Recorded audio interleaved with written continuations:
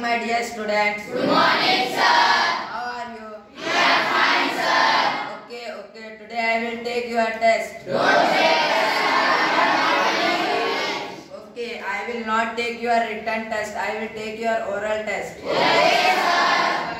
Tell me what is near, moon or Australia? Sir, no sir. Moon is near. How can you say moon is near? We can see to the moon. Can you see the Australia?